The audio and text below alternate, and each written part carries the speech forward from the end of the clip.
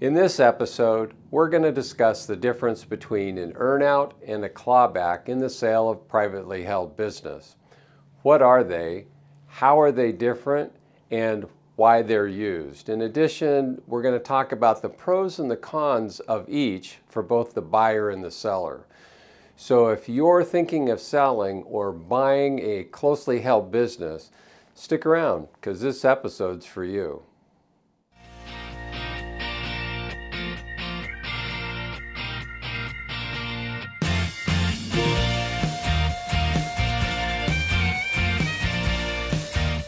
As I go through this presentation, if you got questions, please feel free to just drop me an email or put it in a comment section below and I'll get back to you as soon as I can. And if you get something out of this episode, please feel free to hit the like and subscribe button to help the channel grow. Now with that, let's talk about earnouts and clawbacks. So in all the transactions that uh, Bill and I are involved in, I'd say less than 10% of them have earnouts or a clawback embedded in the transaction. An earnout really is a base purchase price with an earnout over and above that, uh, that number over a certain number of years. And it's really tied to uh, a set of defined metrics that the business in the future has to meet. And that could be revenue, gross profit, net profit, or customer retention. A clawback is really a reduction in the purchase price based on the business not hitting a set of defined metrics in the future. And that can be pretty much the same metrics, either revenue, gross profits, net profit, customer retention, or customer concentration. Why are they used? Why would a buyer put into a transaction either an earnout or a clawback? Well, the number one reason is a little bit of deferring risk back in the transaction from the buyer to the seller. The second reason for doing is it kind of ties the seller back into the future performance of the company and you're going to get a, a seller that's going to actually try and help you achieve your future goals. Now they're each structured a little differently. Let's take the buyout for the exa first example. In a buyout, you've got a base price, which could be, uh, you know, some senior debt, seller note with a buyout for future performance over and above it. And usually that's a two, maybe a three-year term. Uh, things that you're looking for are either uh, revenue, gross margin, net profit, or customer retention or expansion. There could be other metrics involved. But this is a little bit of the between the carrot and a stick, the carrot on trying to make sure that that business continues to move forward. And uh, for that, and for the seller's help and maybe helping accomplish those goals, they'll get a uh, you know future payout or what we call a second bite of the apple. Uh, the other reason that a buyer may put this in a transaction is really around uh, incenting the, uh, the seller to take maybe a lower base purchase price. If you're a seller, you got to be really careful here, and we'll talk about why in a bit.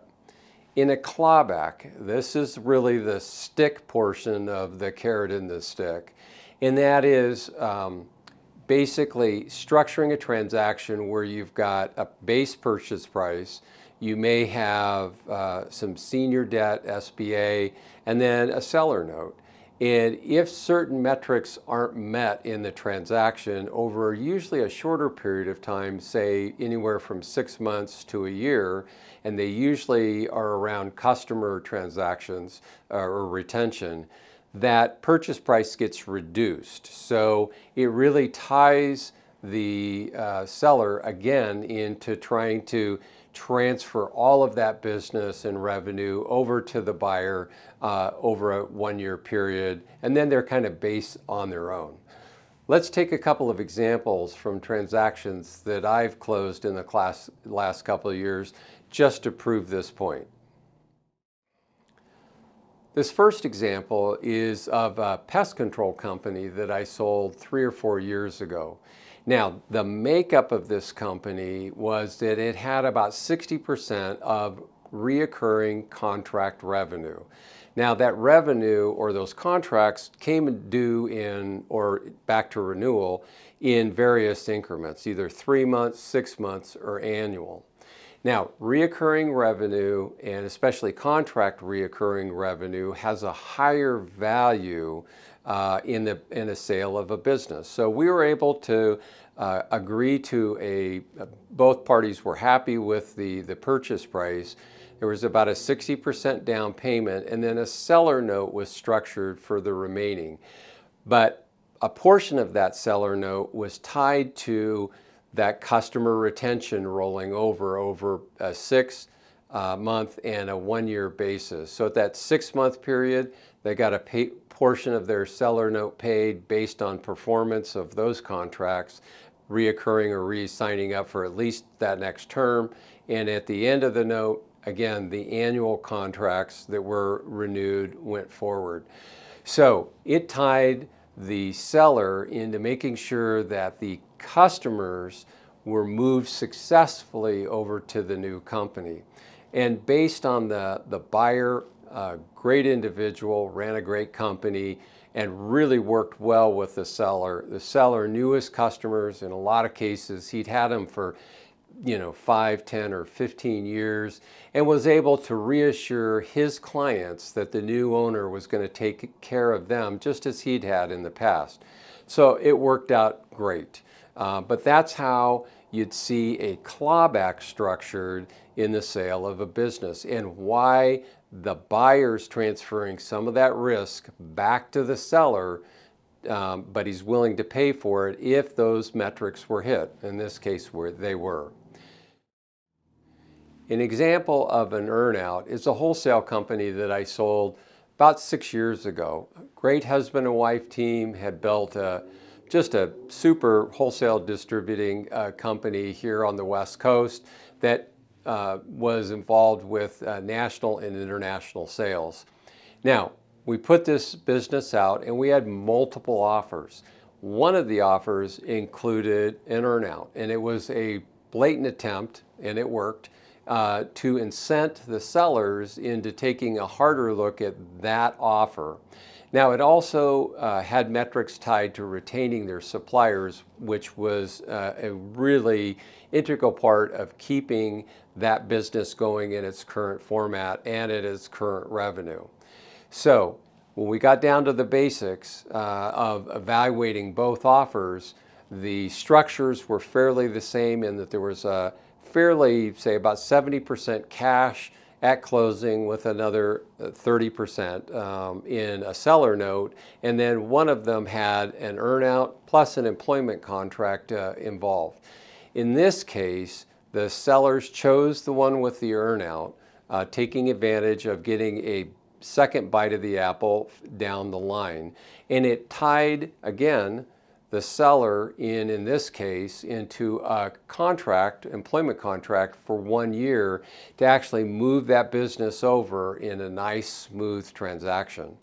So those are two examples and both of them are really having the buyer transferring some of the risk back to the seller for the future financial performance of the business.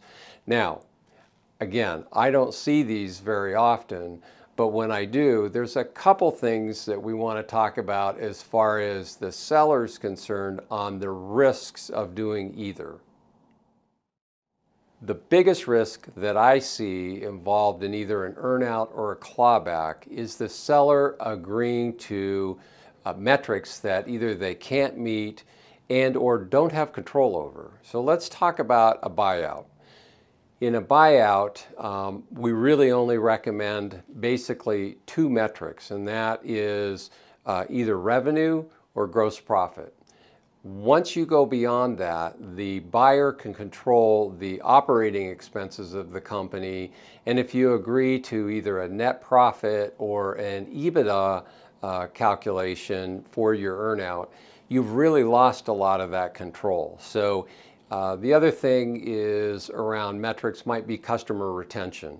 So make sure that if you're a seller that you're only agreeing to metrics that you can control and are easily uh, obtainable as far as accountability.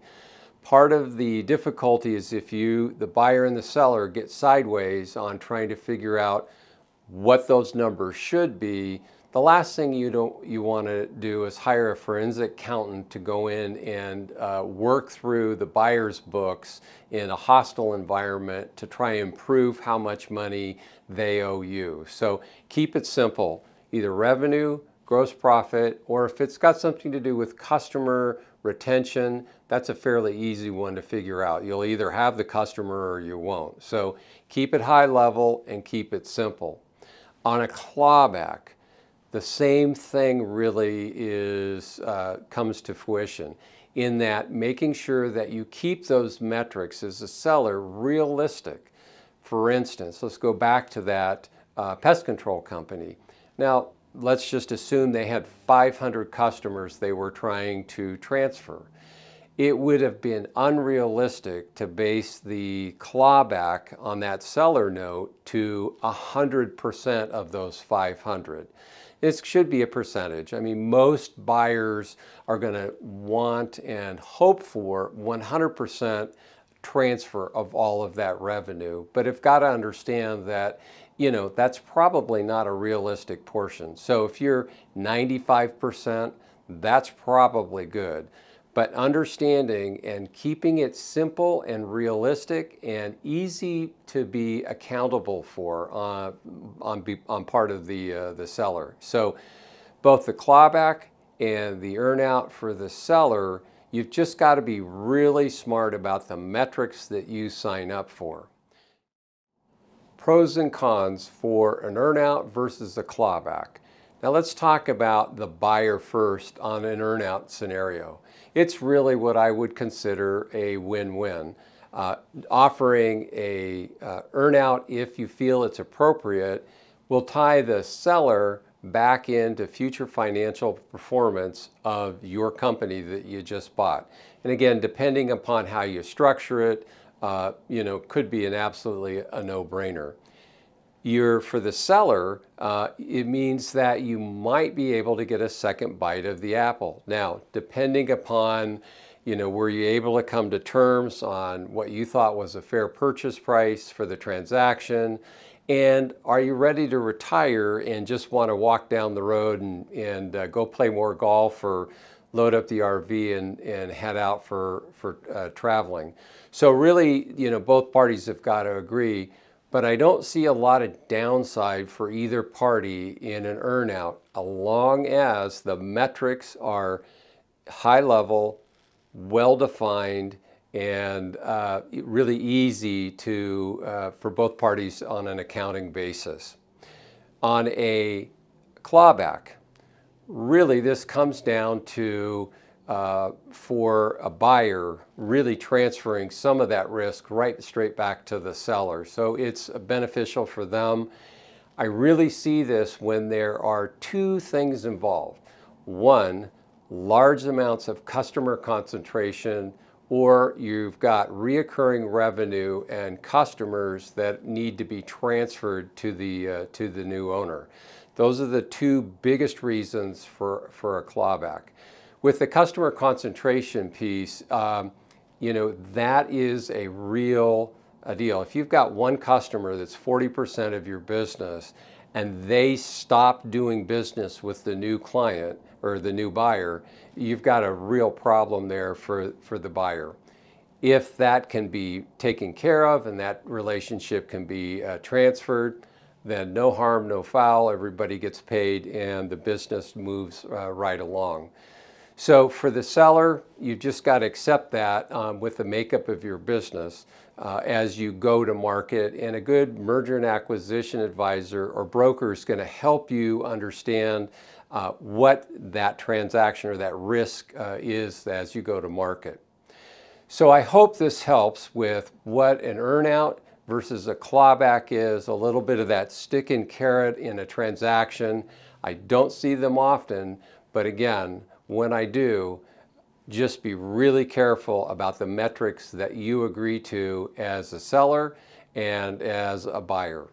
So with that, I hope this finds you well and we'll see all of you in the next video.